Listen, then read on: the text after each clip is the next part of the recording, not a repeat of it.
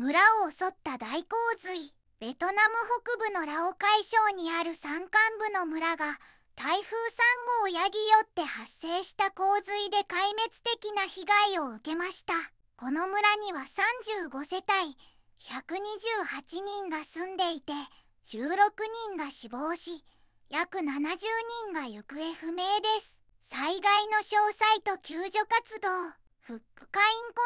ミューンの欄ニュー村は洪水の直撃を受けた地域です。ラオ海省人民委員会のチンスアンチョン主席は災害について説明しました。洪水の発生後迅速に捜索救助隊が派遣され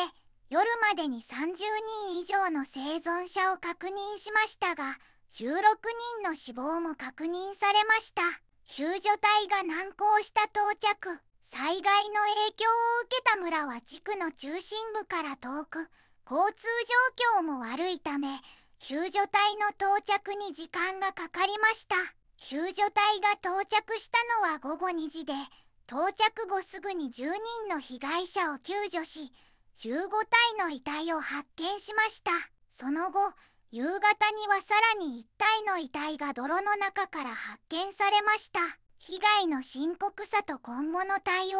バオイエン地区のホアンクオックバオ当書記はこれはこの地区で発生した最も壊滅的な大洪水ですと述べています。現在行方不明者の捜索活動が強化されておりさらなる被害者の発見が期待されています。このような自然災害に対して早急な対策と支援が必要です。地域社会と当局が協力して被害を最小限に抑えるための努力を続けることが重要ですこのチャンネルではベトナムのニュ